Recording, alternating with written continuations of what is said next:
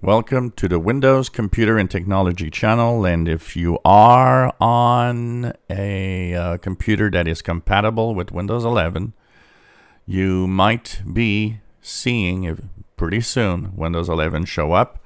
So October 5th is the official date, and some people are already getting it. But here's the thing people that have moved to October 5th worldwide. So some users that have uh, already moved on to uh, Tuesday, October 5th, are actually seeing it appear in their Windows updates. So the rollout of Windows 11 is official. It's starting and it is now um, going to show up slowly.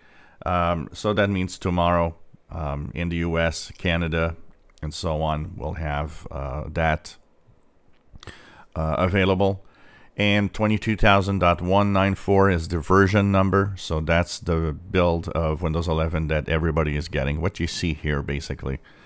And of course, that means I will be posting several videos, one of them talking about or giving my full review of it, what I think, and also uh, several videos showing the key features for those that want to see this and see how these features uh, work and so on. So that's uh, official. We have uh, slow, but uh, we have a slow startup, but it's it's, it's rolling out um, in places where it's already October 5th right now.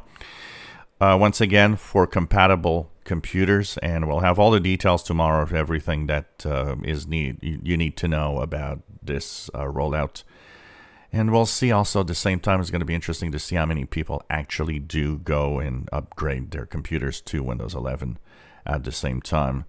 So uh, once again, it's an optional download, so you don't have to install it if you don't want it. And not everybody, even if your computer is compatible, not everybody is going to see it the first day. So that's also something important to know uh, while the rollout starts.